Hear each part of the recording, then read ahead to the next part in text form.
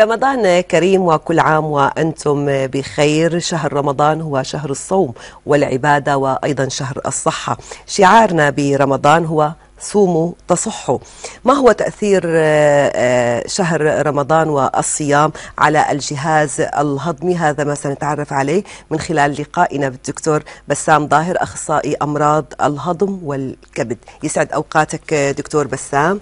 رمضان كريم. يسعد أوقاتك أنسي رغدة و... وإن شاء الله صياما مقبولا افطارا شهيا لكل الأعزاء المشاهدين. ولحضرتك شكرا كمان. شكرا دكتور. دكتور دائما هو الجهاز الهضمي يعني ابتدينا فيه بأول حلقة. ممكن يستفيد المشاهدين يعني نحن بنعرف إنه خلال كل يعني كل أشهر السنة دائما بتعرف يعني بقى بيكون يعني غذائنا أو طعامنا على مدار اليوم. ولكن بشهر رمضان المبارك. ممكن بقى هون بيكون عندك فترة قصيرة هي يعني للطعام وخاصة نحن هلأ يعني عم يترافق خلينا نقول مع بدايات فصل الصيف فهناك ساعات طويلة ممكن إنه الصائم يعني ما ما بياكل. يعني هون وقت اللي بنحكي دكتور عن رمضان بنحكي عن الصيام بنحكي عن فترات الصيام الطويلة وأيضا يعني مدى تأثيرها على صحة الإنسان وممكن يكون تأثير سلبي وأيضا بالمقابل ممكن يكون تأثير إيجابي. الجهاز الهضمي دكتور هل ممكن أن يتأثر بالصوم الطويل؟ ومن هم المرضى الذين يستطيعون الصيام؟ تمام. هلا نحن الجهاز الهضمي هو أول جهاز بالجسم معني بالصيام. آه الصيام يعني التوقف عن تناول الطعام لساعات طويلة. هالساعات الطويلة يعني راحة مؤكدة للجهاز الهضمي آه من المعدة حتى الكولون. آه بهالفترة من اللا طعام الجهاز الهضمي برمم نفسه آه راحة كاملة لا, لا أكل زائد آه عصارات هضمية بالحد الأدنى. آه شو في مشاكل هضمية آه أو تقرحات يتم ترميمها بهالفترة الطويلة من الصيام والابتعاد عن الطعام. آه الفترة الصعبة للجهاز الهضمي هي صيامنا بهالأيام. صيام آه آه يبدأ بفطور متعدد الوجبات وجبات ثقيلة غنية بالدسم والبروتين والنشويات والمعجنات. وبعض الحلويات وإلى آخره. فنحن بس ننصح الصائم إنه فترة الإفطار تكون تبدأ بوجبات بسيطة وبشكل خاص نبدأ بالفواكه. الفواكه فيها السوائل فيها السكريات فيها ألياف. بتعطي الصائم بالبداية جرعة مهمة من السوائل اللي هو بيكون بحاجة لها. تعطي جرعة مهمة من السكريات اللي بيكون بحاجة لها لأنه الفواكه فيها السكريات سريعة الامتصاص وبتعطيه إحساس بالشبع نعم يعني وقت بتشوي الوجبة الدسمة بتكون الوجبة الدسمة أقل نعم. ومفضل نحن تكون وجبة وحيدة نعم. رغم إنه نحن من عاداتنا الغذائية دكتور إنه دائما مع يعني بعد وجبة ال ال الغذاء يعني هي فورا مباشرة بنتناول الفواكه بعد تناول الفواكه مباشرة بنتناول الحلويات. يعني هيدي من ضمن عاداتنا وتقاليدنا يعني اليومية إنه دائما تغدينا بدنا بدنا نحط فواكه. حطينا فواكه بدنا نحط حلويات. هي ال هي ال الأصح إنه نبدأ بالفواكه. بالفواكه. لأنه الإنسان بالأصل عن رغده كائن نباتي نعم شكل القواطع عنا شكل الجهاز الهضمي هي كلها الكائن نباتي يتناول الخضار والفواكه بشكل رئيسي. وهي صحة بالخضار والفواكه. نعم. الأكل الدسم هو أكل سيء للجهاز الهضمي للقلبي للعضلات لكل شيء. فنحن بننصح مثل ما حكينا تكون القاعدة العكس وهي الصحيحة إحنا نبلش بالفواكه بعدين راحة لمدة شي نص ساعة بتكون نحن شبعنا الجسم بالسوائل اللي هو بحاجتها والسكريات اللي بتكون الخلايا عم تئن بحاجة للسكريات. ثم المرحلة الثانية نبدأ بوجبة آه، خفيفة من الوجبة الرئيسية يفضل تكون بعيدة عن المواد الدسمة. آه، قليل من اللحوم المسلوقة أو المشوية وتكون وجبة تكون فيها خضار آه، يعني فيها خضار مسلوقة مع بعض اللحوم المسلوقة نعم. بدون دسم. ما بيقدروا ويفضل. نحن هي بننصح بعدين كل إنسان بيشتغل آه، اللي بيريده بس نحن واجبنا ننصح النصيحة الطبية يعني نحن شرقيين دكتور. يعني ودائما يعني بتعرف إنه هلأ بالصيام إجت وجبة ال- الإفطار وخاصة يعني ساعات طويلة يعني فوق العشر ساعات يعني هن مانن اكلين ولانن شاربين فبتكون فترة قصيرة يعني حقيقة هي فترة الإفطار ما فترة طويلة. فبدهم يلحقوا بقى ياكلوا من كل الأنواع وال يعني ال- الموجودة يعني من مائدة الطعام. بتعليمات آه، آه، سيدنا محمد. سيدنا محمد كان يفطر على التمر واللبن. وبعدين ياكل وجبة خفيفة آه، بدون بدون دسم بدون لحوم آه، فقط لاتباع السلف يعني وسيدنا محمد أكيد هي كل التعليمات صحيحه 100% نعم. آه، دكتور الجهاز ال- الهضمي كما ذكرنا ممكن إنه يتأثر بالصيام ال- الطويل يعني مين هن يعني من هم الأشخاص اللي ممكن يتأثروا بهذا ال- الموضوع من خلال صيام طويل. في مرضى كتير بيقولوا لك ممكن يكون عندهم بدايات مرض وهن ما بيعرفوا إنه هن مصابين بهذا ال- المرض. لكن بدي نوه على رقم التليفون اللي طبعا للمشاهدين اللي بيحبوه. آه، يعني شاركوا آه، معنا وبيحبوا يطرحوا أي سؤال آه، للدكتور بسام ظاهر أخصائي أمراض الكبد وجهاز أمراض الهضم والكبد رقم التليفون 429 200 429 200 تفضل دكتور. أول شيء نبلش مرضى حضرتك حكيتي عن مرضى ال- المعدة. مرضى المعدة في عندنا نحن التهاب معدة سحجي في عندنا قرحة الهضمية. آه، طبعا الاشعه هي القرحة الهضمية؟ إذا كان في قرحة هضمية نشطة معروف حتى يعني آه، حضاريا معروف ان القرحة هي يبدأ تبدأ تأن تبدأ تتألم عند الجوع. فعند الصيام مريض القرحة النشطة ممكن عرضه لألم شديد ممكن يتعرض حتى لنزف أو انسقاب قرحة. نعم. عم نحكي على القرحة النشطة. فنفضل نحن هون عدم الصيام لمريض القرحة النشطة. نعم. يعني هون فينا نقول إنه هي فترة ال- يعني فترة ال- الصيام ممكن تؤدي للجوع. هذا الجوع ممكن يؤدي إلى مضاعفات عند المصابين بالقرحة. الفعالة أو نعم. النشطة. أما مريض القرحة الهاجعة القرحة آه، آه، شبه الشافي أو الشافي واللي عم يتناول الأدوية تبعه فينه يصوم بكل أمان بس ياخذ الدواء قبل فترة السحور شي نص ساعة نعم. يعني بتكون على معدة شبه فاضية وبنعطي فترة لامتصاص الدواء. نعم. بالنسبة للمرضى اللي عندهم قلص معدي مريئي هدول كمان ننصحهم على فترة ال- وجبة السحور تكون خالي من المواد الدسمة أو الحامضة. آه، وخالي من الحلويات العربية إلى آخره. وبنفس الوقت ياخذ دواء على وجبة السحور. هلا الأدوية الحديثة بتغطي له كل فترة صيام 18 ساعة تقريبا.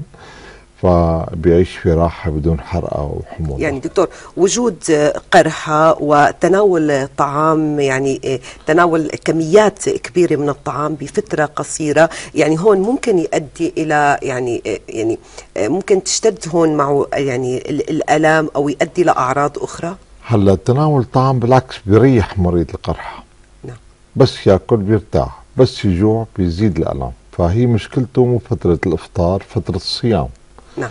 على هيك فترة الصيام عند مريض القرحة الفعالي يفضل أنه ما يصوم. نعم. وما على المريض من حرج.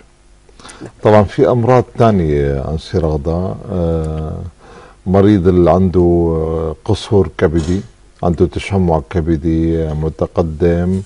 هذول المرضى الصيام ممنوع.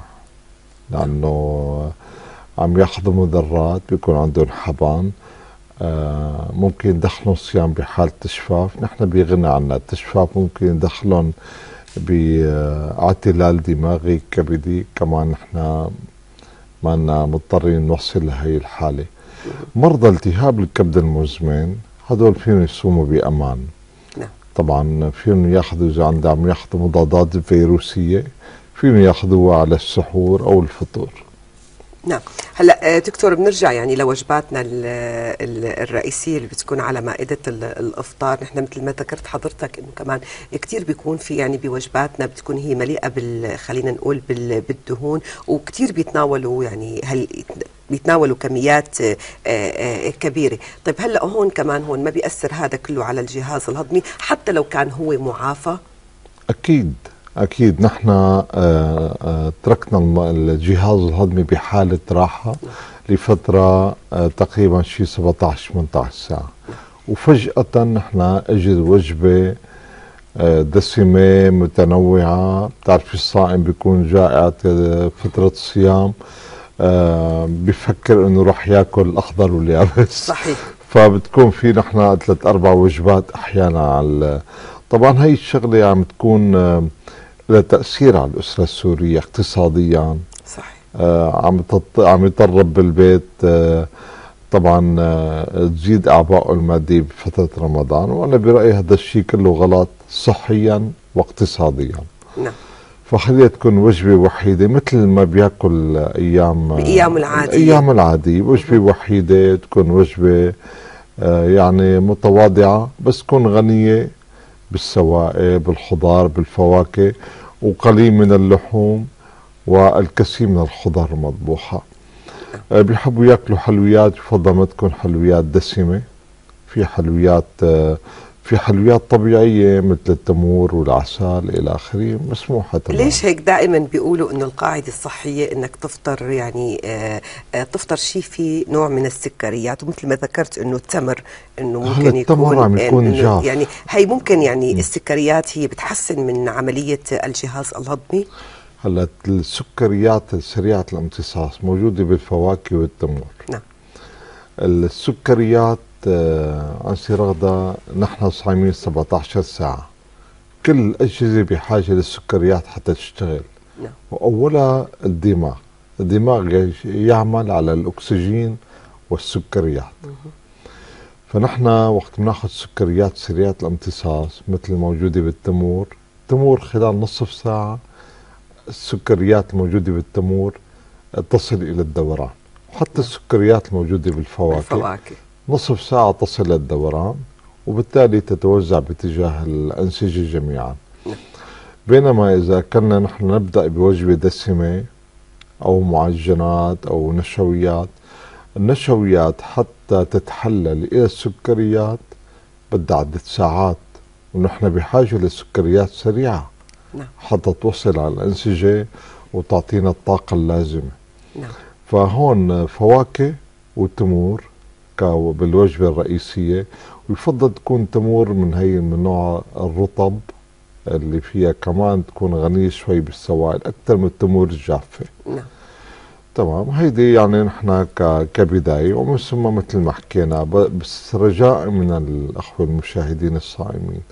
الابتعاد عن الوجبات الدسمة والمتعددة والحلويات العربية. مشبعة بالدهون هلا بدي يحكوا علينا جماعة حلويات. بس يعني نحن فعلا الحلويات يتركوها لمنتصف الليل إذا اللي بيحبوا الحلويات. نعم. معنا اتصال إبراهيم ألو. يعطيك العافية. يعافيك يا رب. الله يعافيك. رمضان كريم. علينا وعليكم يا رب. اتفضل. الله يخليك. أنا بتجيني حالة هيك تشجع أو يتدشم بيقولوا بالعامية. مع ضيق نفس يعني شو شو سببها؟ حال إنه بيتدشى. تمام. هلا أكثر سبب للجشاءات أخي هي كنا جايين على هذا السؤال. تمام. أكثر سبب للجشاءات هي التوتر. نعم. بنشوفها نحن عند الناس اللي عندهم تشنج كولون لأنه بيشكوا جشاءات متكررة لأنه هن بيكونوا حساسين كثير آه عندهم آه نوع من التوتر الوجودي عصبيين شوي. شخصيات كثير عاطفية ومحبة للمجتمع بس حساسين كثير الشخصية الحساسة عم تخليهم عندهم تشنج بالقولون وبالجهاز الهضمي. أكثر سبب للجشاءات هي التوتر القلق. طبعا في أسباب أخرى مثل ال- ال- التهاب المعدة بالحلزونيه البوابية ال- آه، بعض آه، أورام المعدة السادة لمخرج المعدة. أسباب نادرة يعني بس نعم. أكثر سبب هو التوتر. توتر شكرا آه، ما بعرف استمعنا الأخ شكرا آه، لاتصالك آه، أخ إبراهيم. آه، دكتور بدنا نجي هلأ على القولون. يعني بنشوف إنه أغلب الناس يعني أعداد كبيرة خلينا نقول يعني مع آه، مرض القولون ممكن يكون هضمي.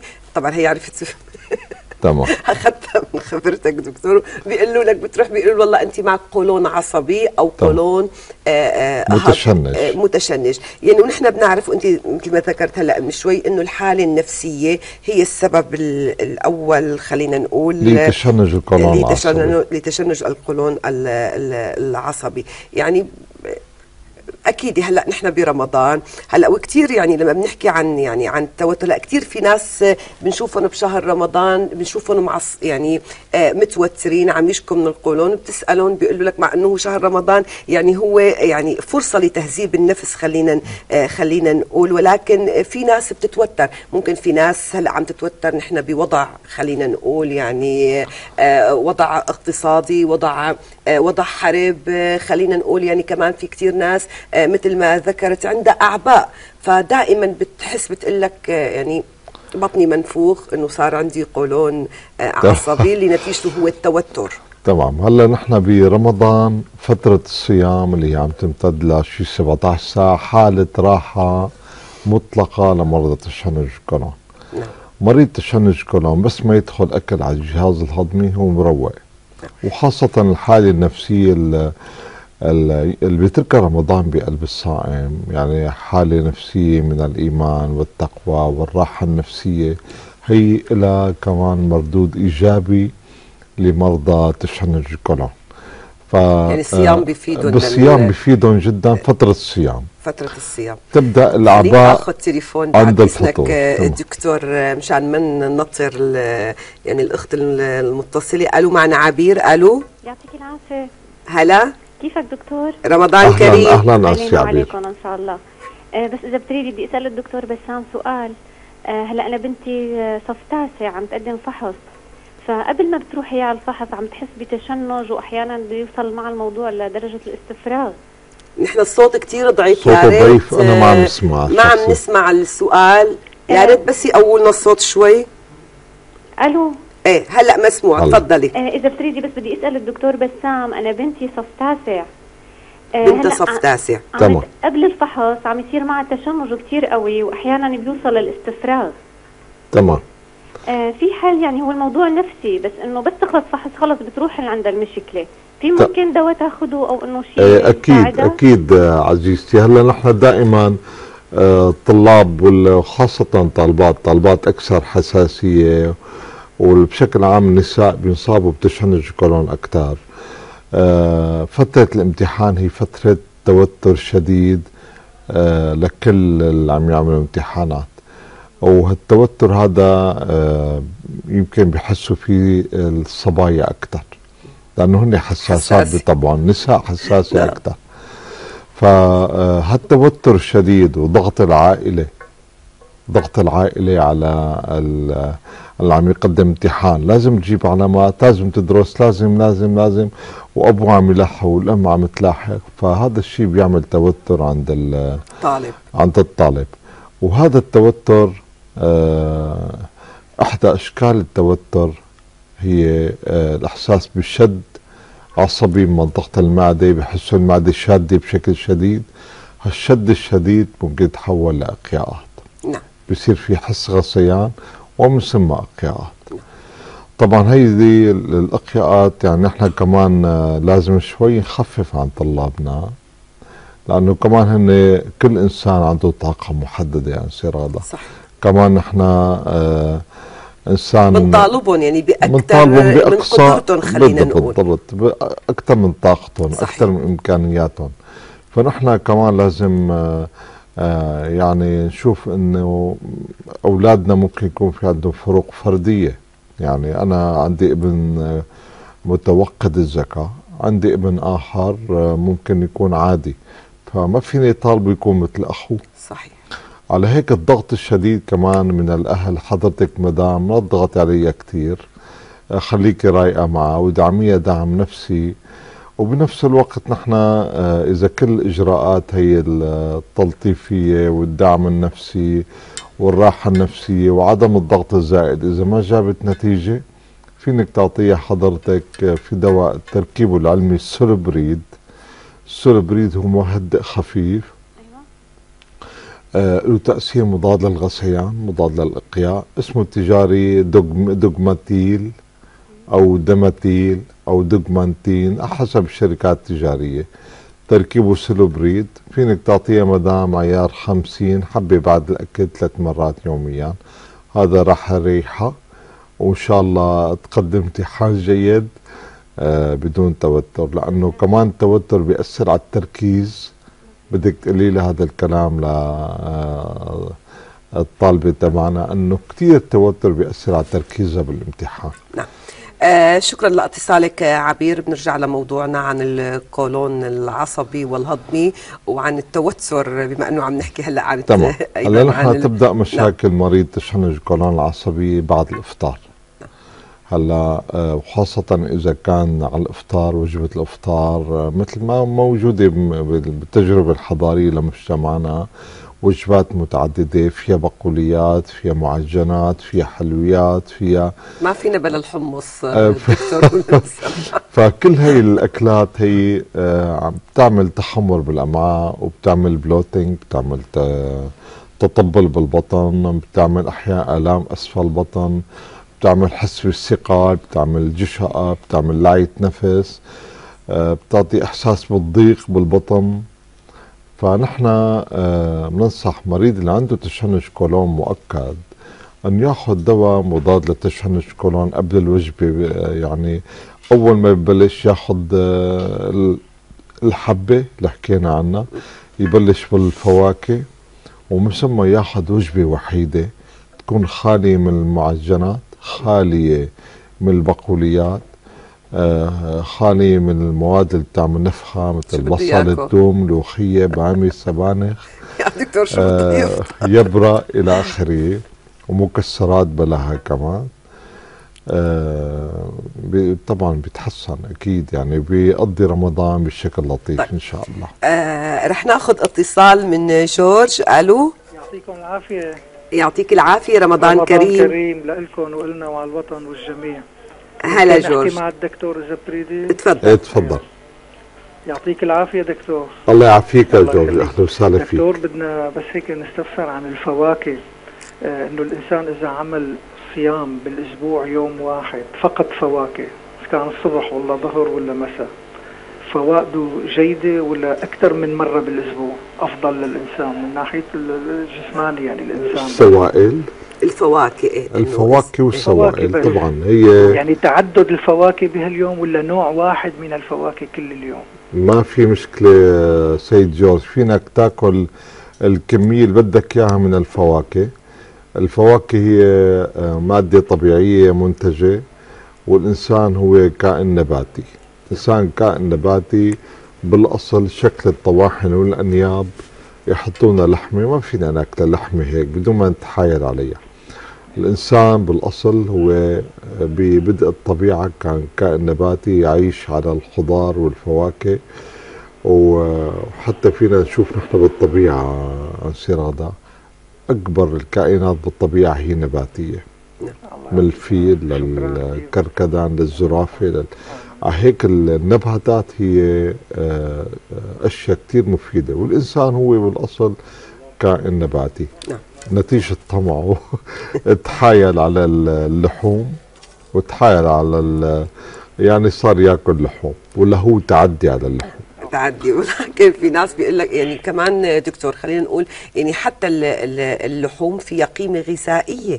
يعني هلا فيها قيمة إيه، غذائية فيها بس فينه يحصل على نفس القيمة من, مو- الغذائية من مواد من أخرى. مصادر مصادر نباتية. نباتية. نعم. والدليل إنه في كتير ناس عايشين نباتيين ويعيشون بصحة جيدة أكثر من الإنسان ناس اللي بيكونوا بياكلوا نحن لحوم. مجتمع شرقي دكتور. سيدنا علي كان يعني يقول لا تجعلوا من بطونكم مقبرة للبهائم. آه، دكتور رح أرجع للقولون العصبي قبل ما نروح ل قبل ما نروح لتقرير آه، معنا اتصال إبراهيم. ألو؟ مرحبا.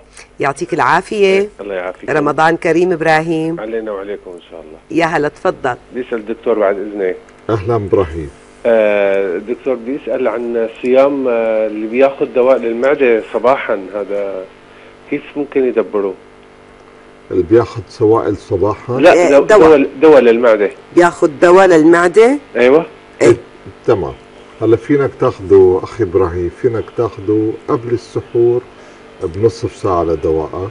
تماما. آه، طبعا ما في أي مشكلة هون والدواء الادوية الحديثة اللي بنسميها ال PPI فترة تأثيرها حوالي 18 ساعة يعني بتغطي لك كامل فترة الصيام. حتى تيجي وقت الفطور إذا كان في داعي يوصف لك طبيبك جرعة تانية فينك تاخذ الجرعة التانية قبل ما تفطر. آه، مع كاسة مي كبيرة وكافية هيدي. بالنسبة لباقي الأدوية القلبية وال والأدوية الثانية بدك تاخذ رأي طبيبك. بس بالنسبة للأدوية الهضمية فينك تاخذها أنت بكل بساطة على السحور. نعم. آه، شكرا لاتصالك آه، أخ إبراهيم. بنرجع للقولون العصبي. آه، دكتور أنت ذكرت بأنه في آه، أنه مجموعة الأطعمة اللي ممكن تهيج الكولون آه ذكرت أنه ممكن ال- المكسرات آه، ممكن البامية ممكن الملوخية آه خلينا نقول آه، ال- الفول الحمص البقوليات. البقوليات يعني. من ضمنها إنه ممكن طبعا هو ما ضل بقى شيء. الحليب والقهوة كلهم طيب دكتور بنشوف يعني بالمقابل إنه في مريض معه قولون آه لو أكل هاي الأطعمة اللي حضرتك هلأ ذكرتها ما بيتأثر مثل مريض آخر يعني معه يعني نفس. القولون هلأ شو السبب الحالة لها علاقة بال- بالشخص نفسه يعني في بعض المرضى اللي عندهم تشنج كولون آه، في حالة هجوع ومروقين معناهم معصبين فيهم يأكلوا بدهم اياه أحيانا ما بينزعجوا بنوب. بس المريض اللي عنده آه،. تشنج كولون وفي عنده stress أحيانا وجبة بسيطة آه، عادية ممكن تزعجه. نعم. فهذا الموضوع مثل ما حكينا أنا دائما بنصح مرضاي الابتعاد عن التوتر. ويعيشوا قدر الإمكان بحياة خالية من المشاكل. يا ريت. لأنه يعني المجابهة والتحدي وال وإزعاج الآخرين والإشكاليات مع الآخرين كلها تؤدي إلى مشاكل سلبية لنا. يعني حتى لو أنت متشاكل مع شخص آخر حاول بطريقة من الطرق تحل هي الإشكالية رح وتعيش سلامك الداخلي. هذا أهم من أي شيء ثاني نعم. آه دكتور. بالنهاية نحن ضيوف على الحياة آه،. انشراده لازم نعرف كيف قدر الإمكان نعيش حياتنا بسلام برواء ب آه، ونوصل نحن لأماننا الداخلي. بس نوصل لهي المرحلة الجميلة من السلام الداخلي. رح نعيش حياتنا كلها كويس. إن شاء الله. إن شاء الله آه، دكتور آه، رح طبعا نروح مع حضرتك ومع المشاهد الإخوة المشاهدين إلى هذا الاستطلاع لزميلتنا بتول شيحة. بنتابع هذا الاستطلاع وبنرجع بنكفي تمام. حلقتنا. خلال شهر رمضان وخاصة بالأيام الأولى كتيرين بيعانوا من مشاكل هضمية. شو رأي الناس حول هالموضوع وكيف ممكن نتخلص منها مشاكل هضمية هي إنه واحد ما يأكل وجبة دسمة كبيرة دغري. متقطعة شوي شوي ما بقى بيتضايق. بظن أنه وما يشرب مي فورا ورا الأكل. يعني يضل له شي نص ساعة. الواحد ما بيتقل اكل يعني ما هيك بصير عنده تهضيم فورا. يعني أنا من ناحية ما بحب تقل بالأكل يعني. بالعكس الصوم كثير يعني صحي يعني الواحد لازم يصوم. يعني الواحد ياكل آه، ما يتقل بالأكل بال- بالخص بالخص آه، آه، الدسم يعني بعد بعد ما بيكون واحد صايم وياكل دسم كثير إجباري بده توجعه معدته بده يتضايق من الأكل. لازم ياكل يعني شغلة خفيفة. الاكثار من السوائل. ما يتناول كميات نشا كثير يعني على على السحور. الاكثار من الخضار بش- بشهر رمضان. التمر الحليب أهم شيء المي لأنه عن جد وقت ينقص عنده المي بده يتعب كثير. عرفتي بده ينقص عنده شوارد بده يفقد الوعي. الله يعينه على الصيام بوقت ال- ال- الصيف هذا. يكتر سوائل يشرب آه، طبعا عند الإفطار. ما يكتر أكل. خفف شوي شوي الوجبات الخفيفة وبعدين الوجبات الدسميه اذا كان في وجبات. كثرة السوائل شوربات الأكل الخفيف. يقوم عن العشاء ما ي- ما يشبع. تناول الخضار والشوربات. وإن شاء الله بكون خير كل سنة وأنتم بخير يا رب. قديش بفيد الصوم للي بيعاني من مشاكل هضمية؟ أكيد بيفيد لأنه ب- بيتضمن الصوم ضمن الحمية الغذائية. بتريح له جسمه من كل شيء. آه، والكان آه، واحد عنده صحة بيذوب هالدهون من جسمه يعني. وحلو الصوم كتير. الله يعيدوا عليكم بالخير. والصحة والعافية يا رب.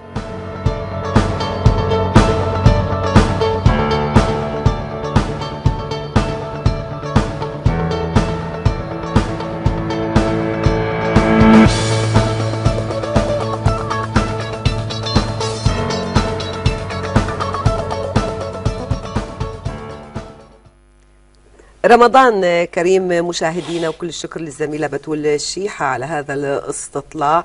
تابعنا هذا الاستطلاع الدكتور بسام. يعني حقيقة هناك ثقافة آه، صحية أصبحت لدى كل يعني لدى كل ال- الناس. صار بيعرفوا شو إلهم وشو وشو عليهم وشو اللي بيفيدهم. وشو اللي بيفيدهم وشو اللي ما بيفيدهم. طبعا نحن حقيقة بننبسط وقت اللي بنشوف هي الثقافة الصحية. صارت بمت- بمتناول كل يعني ال ال الأشخاص لأنه نحن بالنهاية بيهمنا صحة كل آه، إنسان. مواطنين. مواطنين نعم. آه، دكتور آه، كنا لسه هسه كنا ب- بموضوع تهيج ال- الكولون وأمراض ال- الكولون وحضرتك ما بعرف إذا هسه ممكن فينا نضيف بدك تضيف لأنه رحنا على التقرير. طبعا قبل ما حكينا على موضوع نعم. تشنج نعم. الكولون إنه بحاله الصيام بيكون براحة بحالة بعد ال- الإفطار يفضل يعمل هي الحمية وإذا ضل مزعوج في نحن فينا نعطيه هي الأدوية تبعت تشنج الكولون وفي مضادات نفخة حديثة كمان فينه يستعملها بعد الأكل. نعم. آه، دكتور يعني سؤال إنه آه، يعني اينو أفضل إنه نتناول وجبتين آه، يعني يكونوا صغار أم إنه نتناول عدة وجبات خلال فترة ال- الأفطار؟ تمام. هلا أنا بفضل انه وجبة خفيفة بعد الفواكه. آه، نطلع نعمل رياضة. أو إذا بحب كان الصائم كان تعبان طيلة النهار فينه ينمله شوي وبعدين يطلع يعمل رياضة على الأقل شي ساعة مشي. بيكون صارت فترة الليل فترة الحرارة أقل. آه، ال- المشي كتير مهم للجهاز الهضمي. ما بدنا نحن رياضات عنيفة. آه، مشي سريع. هذا كافي لحركة جيدة للجهاز الهضمي. آه، أي إنسان حتى لو كان شاب صغير نعم. آه، بضل مسترخي وقاعد بتخته رح يشكي من مشاكل هضمية عدة. آه، دكتور وأكثر شيء كمان آه، خلينا نقول بيترافق آه، فترة ال- يعني ال- الصيام للصائم كثير بنشوف من ال- يعني من الأشخاص اللي بيشكوا من الحرقة. يعني دائما بيشكوا من الحرقة. هلا في أشخاص ممكن هيدي ال- الحرقة ما بتترافق معهم بأيامهم العادية ولكن بنشوفها إنه ممكن تترافق آه، بخلال آه، شهر رمضان. تمام. هلا احدى الأسباب المهمه للحرقه هي الوجبات الثقيلة. آه، بنشوفها عند كثير من الناس. رغم التوعية الصحية في ناس بيكونوا جوعانين كثير بيقول لك لا لازم آكل آكل. فالوجبات الثقيلة والدسمة فهيدي آه، بتعمل آه، امتلاء بالمعده هذا الامتلاء بيخلي السائل الحامض المعدي يرجع باتجاه المري. فهذا هذول المرضى يعني بننصحهم نحن بوجبات صغيرة متعددة خالية من الدسم خالية من الحوامض خالية من الشوكولا والحلويات العربية. آه بعيد عن التدخين والقهوة والشاي. فهي الأمور هيدي بتخفف كتير من إمكانية حدوث الحرقة. وفي حال ظلت الحرقة موجودة في شرابات هلا سريعة التأثير مثل مركبات ال- ال- الألجينات الصوديوم. مثل هلا في مركبات تجارية كثيره مثل جافيرول أو ال- القديمة مثل مالوكس مالوكس بلاس. هيدي أربع معالق كبيرة دفعة واحدة بتروح الحرقة تماما. ومشان الوقاية بحالات الصيام فينه ياخذ جرعة من أدوية المعدة بنسميها مثبطات مضخة البروتون آه، قبل السحور بشي نصف ساعة. نعم. آه دكتور كمان يعني آه، نحن حكينا عن الأطعمة. كمان في كتير ناس آه على ألو... يعني خلينا نقول سواء بوجبة الغداء بالأيام العادية وحتى بشهر رمضان على وجبة ال- الإفطار بنلاقي إنه في ناس ما بتقدر تاكل إذا ما كان مثلا يعني قدامها عصاير. يعني كتير في ناس آه، بنشوفهم دائما. ما بيقدروا بياكلوا لقمة بيشربوا مثلا آه، آه، عصاير ممكن كولا ممكن سفن أب إنه هدول بيقولوا لك والله إنه هيدي بتهضم. يعني هون هيدي يعني المياه نعم. الغازية ما بتهضم أبدا. بالعكس المياه الغازية هي سيئة للجهاز الهضمي سيئة للأسنان. كثير بنسمع على هالكلمة. ما بنقدر نبلع إذا ما أخذنا هلا عصاير. فيني واحد يبلع اللعاب الموجود بيضطر اللقمة. طبعا بعد مضغ جيد بطرية مهما كانت جافة. آه إذا بيحبوا مثل ما حكينا ما حبوا ياخذوا خضار في فواكه قبل الصيام أو قبل الغداء بحالات العادية فين ياخذوا كاسة عصير طبيعي. نعم. كاسة عصير طبيعي بتأمن دفئة من السوائل والسكريات. وحتى ال- العصير الطبيعي الموجود في آه، آه، في فيتامين سي خاصة إذا كان يحوي على البرتقال. بيساهم بعملية الهضم وبيساهم بعملية امتصاص الحديد بس يكون على الشرط قبل الطعام بنصف ساعة. نعم. أيضاً، أما آه، الشراب مع الطعام أبدا ما بيساعد بعملية الهضم بيمدد العصارات الهاضمة وبصير في تلبك هضمي وعسر هضم. ممكن ياخذوا مي. مثلا ما بيقدر إنه بدل يستبدل الماء مع بال- الاكل ابدا معنا معنا نصيحة. قبل الأكل بنص ساعة مي أو عصير. بس مع الوجبة الرئيسية يفضل تكون خاليه من السوائل آه بعد الأكل بشي ساعتين فيني ياخذ أو بساعة فيني يبلش بشرب السوائل إذا كان عنده عطش. حتى بعد الأكل إذا كان عطشان فيني يشرب مي ما أنا مشكله كمان بنشوف كثير من ال- يعني من الصائمين من الناس آه، بعد ما بياكلوا في كثير يعني بنعرف هلأ آه، ناس موظفين عاملين آه، ليجوا ليحضروا بتلاقي كثير ناس خلص من هون يعني فطروا من هون حطوا راسهم وناموا. آه، دكتور يعني كمان خلينا نقول. يعني في كت- يعني هدول الناس اللي بتاكل وبتنام يعني كمان في ممكن الشيء يأثر على الجهاز الهضمي يعني عملية الهضم إنه خلال فترة النوم إني أنا أكلت ونمت. نحن دائما بنعرف يعني بحياتنا وبثقافتنا العامة آه إنه لا آه إنه مفروض الواحد إنه بعد نص ساعة إنه ينام. وإذا بده ينام دائما يخلي راسه لفوق يعني إنه ما ينام مستلقي مشان تمام. عملية الهضم. هلا هيدي للي عندهم قلس معدي مريئة بنفضل نحن ترتفع رفع قوائم السرير من ناحية الرأس حوالي 15 سنتي. أما بالنسبة للناس العاديين ما عندهم مشكلة بالقلس بيقدروا ياكلوا ويناموا. فينهم يناموا بعد شي نص ساعة. نص ساعة. بس طبعا أول شي بعد الأكل يساعدوا الست الوالدة بالأخذ الصحون على المطبخ حركة خفيفة بالبيت. يخففوا. ومن ثم فين يناموا على الجانب الأيمن. نعم. الجانب الأيمن بيخلي محتويات المعدة تروح باتجاه منطقة الغار. نعم. وهذا الشيء يعني باتجاه مخرج المعدة. فما في مشكلة يناموا شيء بحدود الساعة وبعدين على الرياضة. نعم. آه، دكتور آه، أيضا يعني آه، بنلاقي كثير كمان من ضمن الحالات اللي ممكن يعني يعني تصيب ال- الصائم يعني دائما بنلاقي ناس بيكون بتقول لك إنه صار عندي إمساك. تمام. يعني نعم. هلأ تغير العادات الغذائية في رمضان والتجفاف الطويل التجفاف اللي بيتعرض له الصائم نتيجة قلة السوائل برمضان خاصة نحن هلا آه مقبلين على شهر رمضان ممكن يكون في آه شهر حار جزء منه بحزيران. فقصي الفترة تغيير عادات التغوط بحد ذاتها بتعمل إمساك. بيجي يضاف له التجفاف النسبي بتعرض له الصائم فهذا بصير في عنا إمساك مؤقت.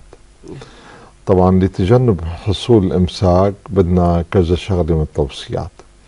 أول توصية هي الاكثار من السوائل. بدنا 2 ل 3 لتر السوائل وأحسن شيء بالسوائل هي المي. المي العادية. الشغلة الثانية الاكثار من الخضار والفواكه مثل ما حكينا بالبداية. آه مع كل وجبة حتى وجبة السحور والفطور حتى إذا أخذوا هيك نقرشه بين الوجبتين تكون خضار وفواكه الشغلة الثانية هي الرياضة. المطلوب من الصائم يمشي 70 دقيقة مشي سريع آه، يوميا حتى يتجنب ال- موضوع الإمساك. الإمساك. وأكثر فترة هي جاهزة لطرح الفضلات هي بعد الفطور بربع ساعة. طبعا بعد الفطور بالنسبة للإنسان غير الصائم هي فترة مثالية يعني بيكون نايم طيلة فترة الليل بيكون في سيطرة للعصب المبهم. العصب مبهم بيفرز بيفرز الاسيتيل كولين بزيد من حركة القولون وبالتالي عملية التفريغ. آه إذا بحب يخرج صباحا أو بعد الاستيقاظ ممكن. إذا ما كان في عنده رغبة فينه يخرج بعد الإفطار بربع ساعه نعم.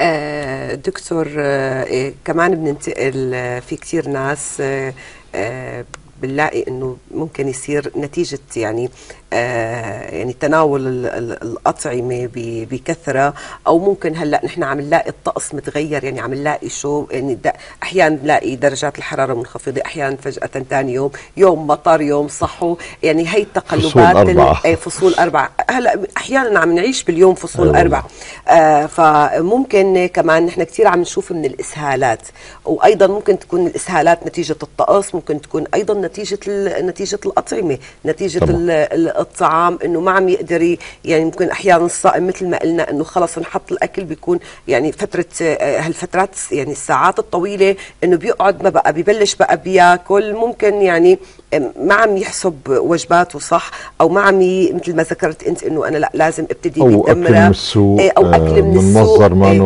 ممكن كثير نظيف. كمان في ناس بنشوفهم إنه تعرضوا لحالات إسهالات شديدة. تمام. هلا مريض الإسهال آه، مثل ما حكيت حضرتك، بيقولوا له عنا لأنك اسهالات خبصت أكل. إسهالات مختلفة بالضبط. في إسهال وظيفي هذا إسهال ناتج عن زيادة حركية القولون بسبب تشنج القولون أو بسبب آه، تعرض للبرد الشديد أو بسبب أحيانا آه، الخربطة بالأكل مثل ما حكيت حضرتك. وفي إسهالات إنتانية ناتجة عن إسهالات فيروسية أو إسهالات ناتجة عن نوع من الجراثيم تلوث الطعام بالجراثيم خاصة نحن مقبلين على الصيف هلأ مثل الشيجيلا السلمونيلا الكامبو- الكامبيلوباكتر اليرسينيا هي كلها بتعمل إسهالات إنتانية شديدة غازية للجدار نعم. أو يضاف لها الزحار الأميبي أو الجيارديا لامبليا فهون بحاجة نحن اولا لايقاف الصيام نعم. لأنه نحن عم نفقد سوائل وشوارد بكميات كبيرة. بحاجة نحن لنعوض هي السوائل والشوارد اللي عم نفقدها. فبدنا نحن قطعا نوقف صيام. نبلش بالعلاجات المضادة للجرثومية إذا كان في شك بإنتاج جرثومي أو بإعطاء مضادات الأميبيا أو الجارديا الأمبيليا أو إذا كان الإنتان التهابات الأمعاء فيروسية فقط فقط بتعويض السوائل والشوارد نعم. تعويض السوائل والشوارد بكميات كبيرة كافية أحيانا لعلاج الإسهال نعم. طبعا هي بقدر الطبيب المعالج بس قد قطعا مريض الإسهال الحاد عم يفقد سوائل كبيرة ما فينا هون نصوم هون المفروض يوقف الصيام. وقف الصيام نعم. أكيد لأنه كمان يعني من خلينا نقول من من العادات ال- ال- الخطأ اللي بي- بيقوم فيها ال ال الإنسان إنه دائما كثير بنشوف ناس بيكون عندهم إسهال شديد وعندهم إقياء مباشرة بيروحوا على الصيدلية بيجيبوا آه يعني مضاد شلات الحركة. إيه مضاد لل- للإسهال. هلأ أحيانا كثير في ناس بيقولوا لك لأ إنه أنا رح خلي الإسهال إنه طبيعي ممكن تكون جرث- جرثومه آه إنه ممكن يعني تروح. آه، وفي ناس آه، لا إنه بيكون عندها أشغال بيكون عندها أعمال بدها تروح على وظيفتها بتضطر إنها تاخذ هيدي ال- الحبوب. تمام. والله هذا أكبر خطأ. هذا ال- الأدوية اللي بتشل حركة الأمعاء. فبيوقف الإسهال بس إحنا الجرثوم يبقى ما راح في, يبقى. في الجسم. نعم. الإسهال هو طريقة دفاعية بيكون فيها الجسم لطرح البكتيريا المسببة للمرض. نحن آه، بتناول شلات الحركة المعويه مثل الإيديوم أو اللوموتيل. فطبعا هي لها استضباباتها بالإسهال الوظيفي. أما الإسهال العضوي ممنوع تتاخذ هيدي الأدوية. ف آه، بنخلي الجرثوم جوا وبتتفاعل القضية وبتكبر وبتزيد الحالة سوءا. نعم. آه نصائح آه أخيرة يعني ما بقى عنا وقت آه بدقائقنا ال- ال- الأخيرة. خلص وقتنا دكتور آه بسام. آه نصائح أخيرة للأخوة المشاهدين النصيحة الصائمين. أولا آه يعني بالغذاء بالعادات الغذائية الجيدة آه بالإكثار من السوائل وال- والمنتجات الطبيعية. آه حكينا نحن التوصيات الخاصة بالإفطار. توصيات خاصة بالسحور. وجبة السحور هي وجبة مهمة لأنه نحن آه بعدها رح نتوقف عن الطعام لفترة شي 17 ساعة. فهون نحن على وجبة السحور آه لازم يكون في عنا آه آه قواعد بالموضوع. أول شيء عدم التناول كل الأطعمة المالحة. الأطعمة المالحة تتطلب سوائل بكميات كبيرة وهذه غير متوفرة بفترة الصيام. نتوقف عن اللحوم. اللحوم ممنوعة فترة السحور.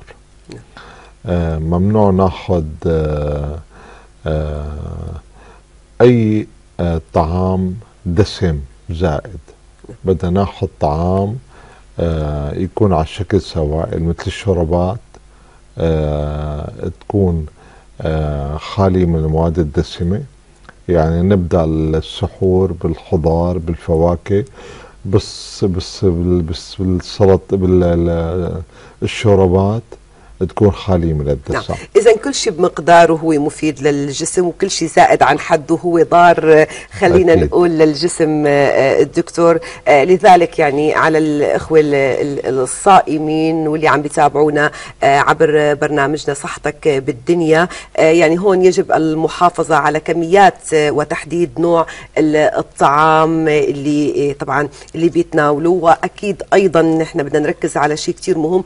أيضا الرياضة هي مهمة آه، جدا للصائم بدي أكيد. أشكرك آه، آه، دكتور بسام ظاهر أخصائي أمراض الهضم والكبد. شكرا لك وشكرا لوجودك معنا. رمضان كريم. الله يخليكي بشرفني وجودي معكم. شكرا, لك. دكتور والشكر الأكبر لكم مشاهدينا. رمضان كريم إلى اللقاء.